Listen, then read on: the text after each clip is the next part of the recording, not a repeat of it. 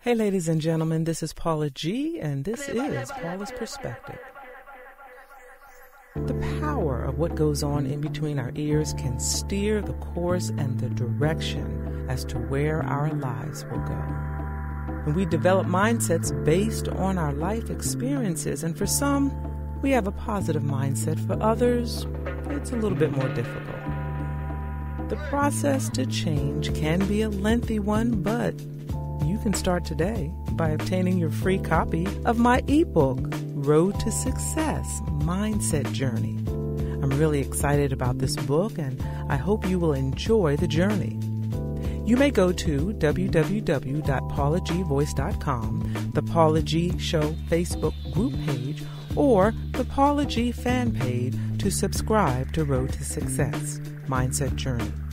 Now, once you complete the subscription, check your email to confirm. Then your copy of Road to Success will be emailed to you within 48 hours.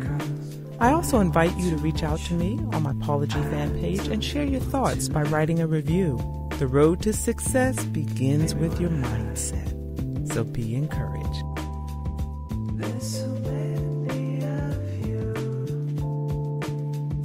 Well, hey everyone, I'm so glad that you joined me again for another episode of Mindset Conversation. What's the conversation that is going on in between your ears? And today I want to continue our conversation by talking about the media influence. And of course, we have some relative scripture to go with this as well. You know, I always say to you all that the greatest conversation that we will ever have is the one that takes place in between our ears. The question is, what conversation are you having in between your ears? That conversation is affected by what we allow into the conversation. And we allow all kinds of entities into that conversation through our sight, through our hearing, through our taste, even through the touch, through the smell, all of our senses. We allow certain influences into our beings. Now, you might ask, how can that be? Well, you know, there are certain things that you might see that might trigger a certain response. There might be certain things that you hear that might trigger a certain response. Certain foods that you taste might take you back to a different time in your past, especially your childhood. You know, when, you know, sometimes if we're eating a certain cereal in the morning or oatmeal or certain des- dessert, you know, for some of us it's peach cobbler, you know, that conjures up certain memories. And as it conjures up those certain memories, it may also conjure up certain perceptions or, or certain feelings that then enter that conversation that is going on in between our ears. So, you know, we get influence from all different ways. But what the one thing that has really kind of disturbed me a great deal lately is the influence of the media. And I'm not here to criticize the media, knock it one way or the other. I'm just simply bringing a concept of, or an element, shall we say, let's say that, an element of mindset to the forefront. And that is the media influence. We, as a people, not just here in this country, but other countries, we are all influenced by the media, what the media projects, how it projects it, and then how all of that kind of settles in our spirit or settles in our mindset. When we see certain things on television, when we hear certain things on the radio, on our computers, on our, our, our phones, on social media, all of these images affect that conversation that is going on in between our ears. You know, in our last episode, we talked a bit about our limited understanding or our limited exposure to perhaps other cultures, other peoples, other races, where, you know, we may have some general knowledge, most of which, a lot of time, not often, but a lot of times is based on what we see in the media. You know, what we what we hear, or in some instances, what we've learned over the course of the years, whether it has been in school or whether it has been something that has been told to us by family members, we, we have a limited understanding, a limited knowledge, limited exposure to people who don't look like us or live like us or talk like us or walk like us or whatever it is that they do because we're not aware of, of how others uh, others live to a certain degree. And that can create space for us to form our opinions of others based on, like I said, other sources, based on, on, on, on media.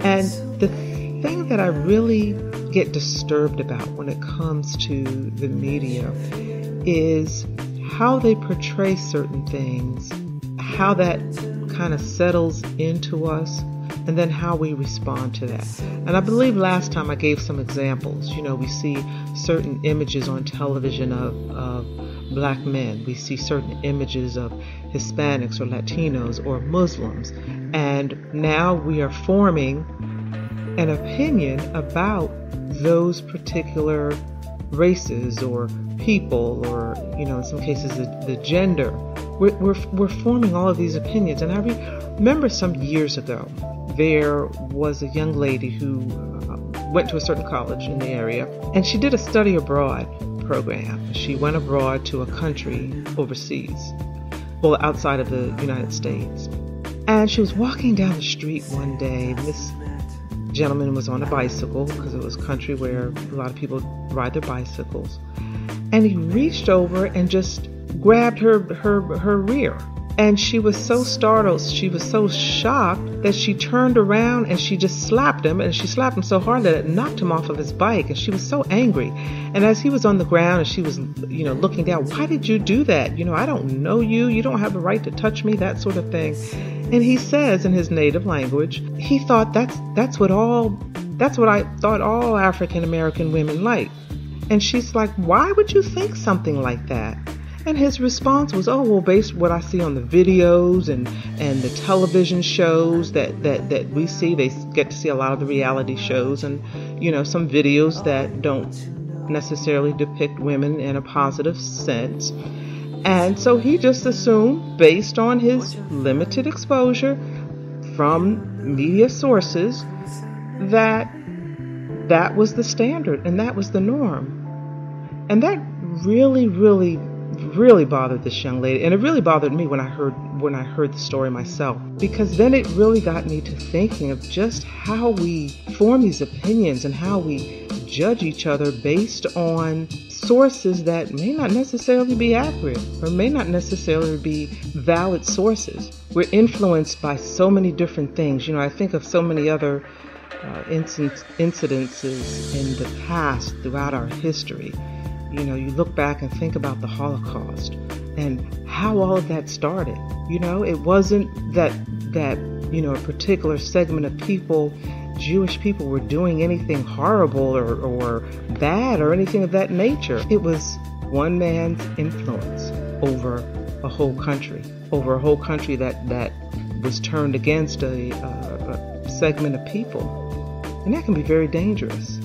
You know, we have seen on television some of these horrific massacres where you've had people that have gone in and, and, and killed a whole group of people.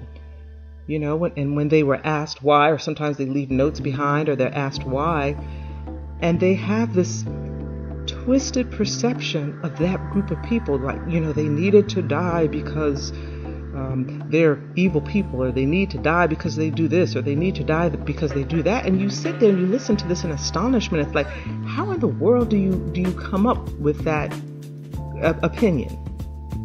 But a lot of times it comes to us not only through you know, maybe our upbringing, what we've been exposed to, but what we see on television, what we see in the movies. You know, it, it, it, can be a very, very dangerous thing. And that's why it's so important for us to really begin to really, really be conscious and aware of what we allow in between our ears. You know, there's so many times where people are falsely accused of things based on stereotypes or, or, or, stigmas. And I'm possibly thinking that perhaps some of you that are that are listening may have been subject to something of that nature, where you were falsely accused of something based on the color of your skin or your gender or how you wore your hair or your religion or whatever, you know, whatever it is. You know, so we, again, we just have to be very, very careful about what we are letting into our spirit. So my question for you today is, what are you letting into your spirit? It's just a question for for thought. What are you allowing into your spirit? What kind of conversation? What kind of information? And I want to take a scripture now. It's Proverbs 28 26. And it reads as follows Those who trust in themselves are fools, but those who walk in wisdom are kept safe. I like that. Those who trust in themselves are fools. You trust in yourself, you trust in your own being. The scripture is saying those who trust in themselves are fools, but those who walk in wisdom are kept safe. Wow, what does that mean? Again, you know, we go back to saying the greatest conversation you will ever have is the one that takes place in between your ears. But if God is not part of that conversation, then we then become the proverbial fool. Just like it says here in Proverbs, those who trust in themselves are fools, but those who walk in wisdom are kept safe. That conversation that's going on in between our ears, if God is not part of that conversation, then we become part of that proverb. But walking in wisdom means walking in what God has spoken to you through His Word, through your quiet time with Him. That's what we need. That's what we need to influence that conversation that is going on in between our ears. You know, our lives are so incredibly busy, and sometimes our prayer life can suffer. You know, our prayer life and just commune time with God, it becomes less and less, it seems like, for some of us. Not all, for some of us. Our, our prayers become more and more shallow, and by that I mean, it, you know, they become more and more general. You know, Lord, thank you for everything. Bless this person, bless that person. And we all, all definitely want to, you know, lift others in prayer so that they will be blessed. But it seems like sometimes we get less and less specific. You know, have you ever had the experience when you are really deep in prayer, how you can be really specific about what it is that you're praying about? You know, whether it's a problem or whether you're asking God for something, when you're really deep in prayer and really spending some time with God, how you can just get to the nitty gritty of it. But you know, when we're when we're just before we're going to bed and maybe we're very, very tired and we might say a quick prayer or we're driving, you know, and that's a lot, a lot of times, a lot of us pray when we're driving. There's nothing wrong with that. Don't get me wrong. There's nothing wrong with quick prayers. But over a period of time, if we engage more and more in those quick prayers, which, you know, quick prayer is better than no prayer, but the more and more we engage in them and the less and less we engage in lengthy time with God, it seems like sometimes His voice gets dimmer and dimmer in our ears. What it is that He has to say to us often gets harder and harder for us to to hear. So it's it's really really important and I know most of you do. It's really really important to really each and every day set aside some quality time with with with the Lord. I know I could do better in my own life as well. And if that's something that you feel that you can work on, well, you know what? We all can work on it. Really when you think about it. We all can work on spending more time with Him, meditating more on His Word, reading His Word, asking Him, Lord, what is it that you want me to know? What is it that you want me to do? I've become very, very conscious about watching the news and how much news that I watch. And I've gotten to the point where I watch watch just enough to keep up with what's going on in the world, but that's it. You know, we become what we spend time doing or what we spend time hearing. And you may ask yourself, okay, well, how, how is that possible? Or how can that be? You know, watching bad news all day long, whether you realize it or not, can create anxiety in you. Or it can even create depression because we subconsciously carry around what it is that, that we've seen or what what it is that we've heard. I remember years ago, I was married years ago, my husband was in the service, and it was during the first Gulf War.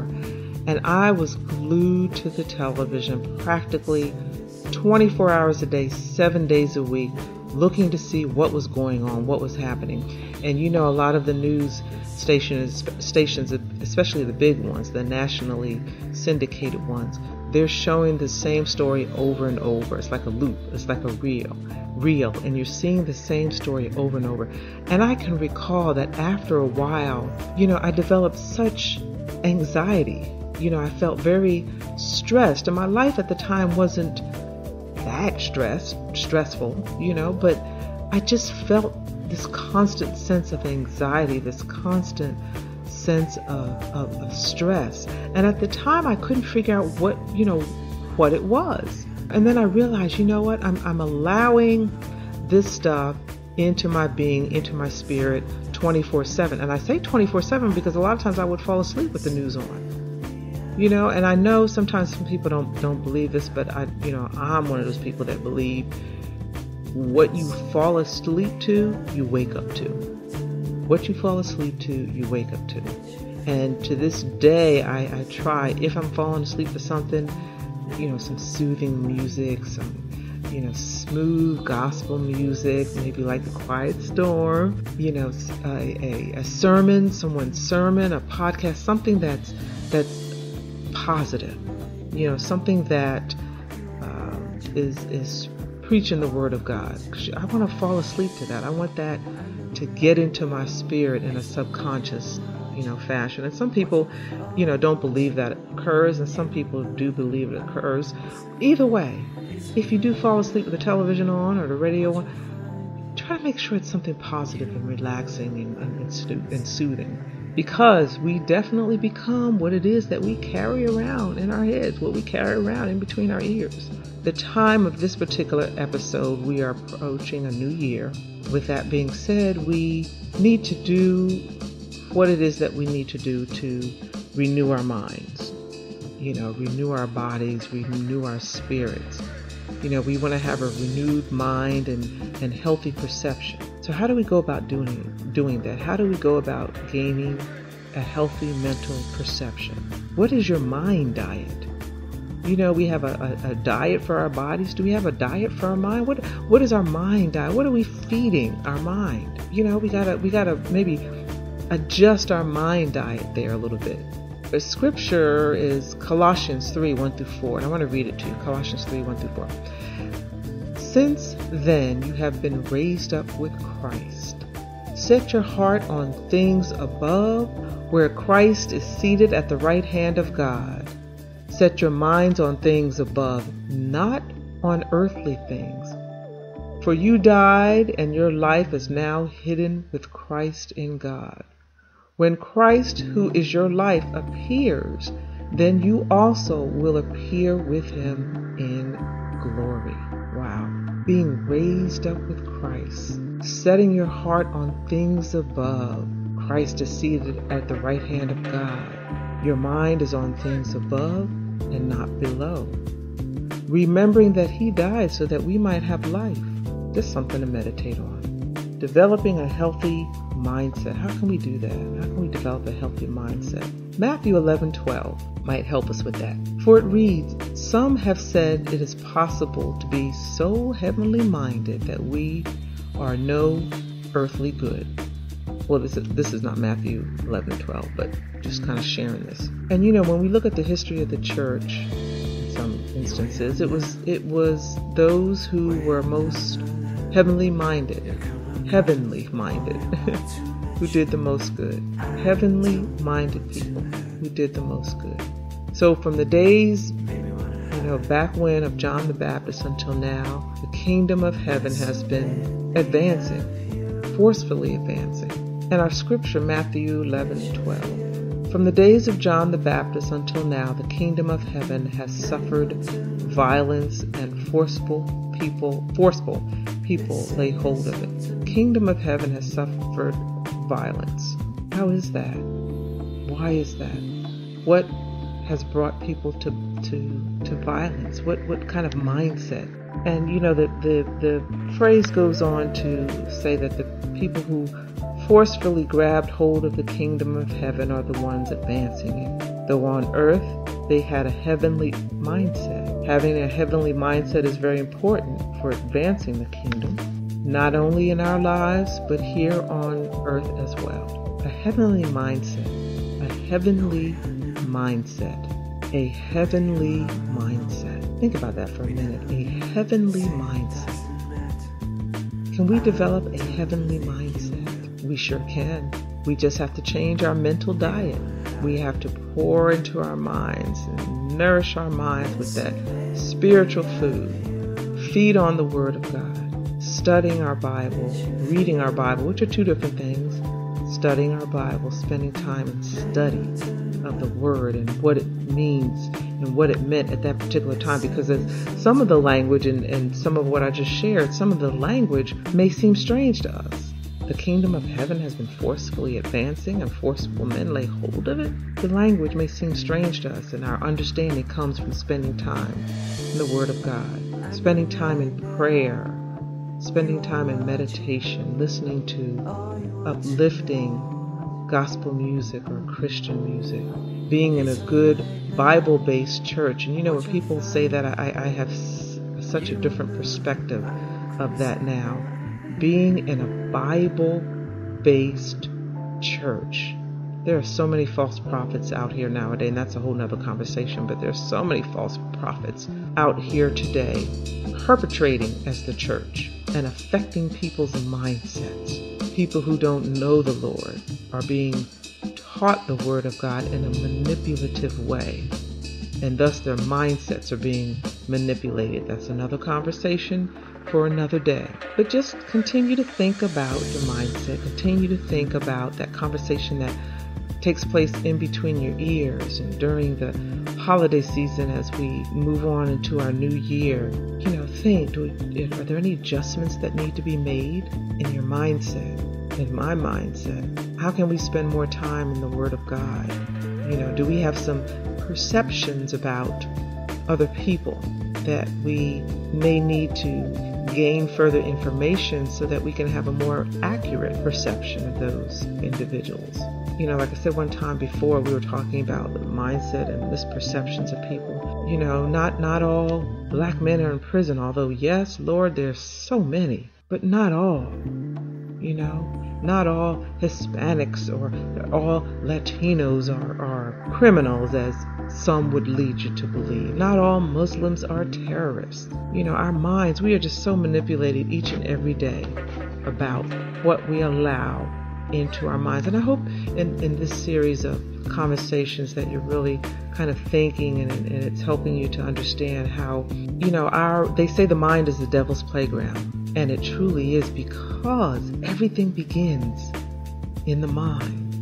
When you wake up in the morning, your mind is going to tell you either to get up or not get up. Your mind is going to tell you take a shower or don't take a shower, brush your teeth or don't brush your teeth, go to work or don't go to work, go to school or don't go to school. It all starts in between your ears, whatever it is. It all starts in between your ears. That conversation, that greatest conversation that you will ever have, the one that starts in between your ears, make sure, make sure God is a part of that conversation. Father God, I just ask today that as we embark on a new year, Lord, that we embark on a new mindset, Father, and that anything that is not of you that is in our minds to purge it and remove it, Lord, and to seal up our minds, Lord. Seal up our minds against anything that is not of you, Lord. Seal it tight, Lord. Not even a pinhole, Lord. Seal it tight. Purge what is not of you in our minds, Lord. Seal it up, Lord, and begin to saturate our minds, our bodies, our spirits, Lord, with nothing but your word, nothing but your spirit, Lord. Nothing but whatever it is that you have called each of us to do, Lord. Just fill us up, saturate us, Lord. Lord, I ask that you continue to cover, you continue to bless, you continue to keep, you continue to protect, you continue to hear the prayers of those who are within my listening ear, Father. If it's finances, if it's family, Lord, if they've just lost a loved one, Lord, if they have a health issue, Lord, whatever the issue may be, Father, if it's education, Lord, just I ask that you meet them at their point of need, Lord, I know they will give you the glory, they will give you the honor, they will give you the praise as I always do, Lord, each and every week for allowing me to have this opportunity to talk with your people, to share what it is that has been laid upon my heart by you, Lord, to share. These and the blessings we ask in Jesus' name. Amen. Have a great, great, great rest of your day, whether it's morning, afternoon, or evening. Know that God loves you, and so do I.